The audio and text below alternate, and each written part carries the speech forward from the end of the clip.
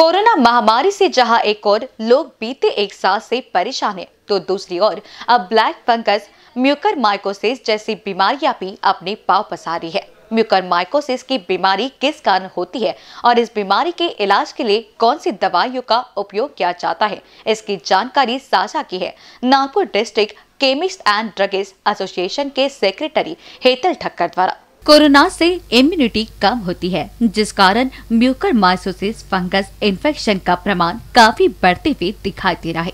इस बीमारी के इलाज के लिए एम्फोटेरिसिन बी फोर्टोन बी इंजेक्शन दी जाती है। लेकिन जिस तरह म्यूकर माइसोसिस बीमारी बड़ी तेज़ी से बढ़ती हुई दिख रही है, इससे लगने वाली दवा की किल्लत भी अब होने लगी है। जिसे देखते हुए इस दवा की काला बाजारी हो सकती है। ऐसा Nagpur district chemist and druggist association के सेक्रेटरी हेतल ठाकुर द्वारा कहा गया है। एक्चुअली इसमें जो मेजर जो ड्रग यूज़ आ रहा है, जो डॉक्टर लोग प्रिस्क्राइब कर रहे हैं, वो एम्पोटेरिसिन बी करके फोटोन करके एक सिप्ला का आता है माइलान कंपनी का आता भारत सीरम का आता। बहुत सी कंपनीज़ आठ दस कंपनीज़ इसको बनाती है।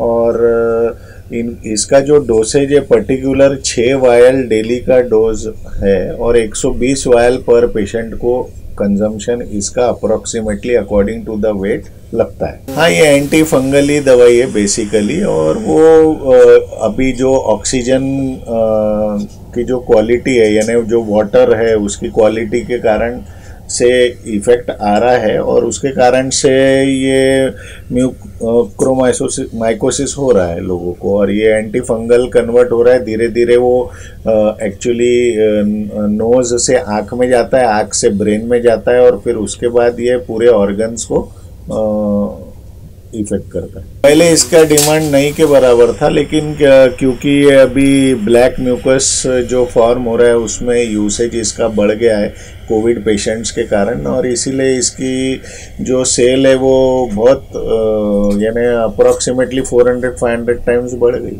अभी फ़िलहाल में तो जितना जो जो शॉर्टेजेस है मेडिसिन उसमें कुछ दो चार पाँच ही है, जैसे कि अपन सब देख रहे हैं कि भाई टोसी वगैरह जो शॉर्टेजेस चल रही है। अभी ये नया डिज़ीज़ सामने आया है तो इसके कारण से ये वाली जो मेडिसिन है एम्फोटेरिसिन भी ये भी शॉर्ट हो गई है। साथ ही हेतल ठाकुर द्वारा बताया गया है कि म्यूकर माइकोसिस के मरीजों को दवा छह फ़ाइल लगती है। कैमरा पर्सन अखिलेश भारद्वाज के साथ क्षितिजा देशमुख की रिपोर्ट।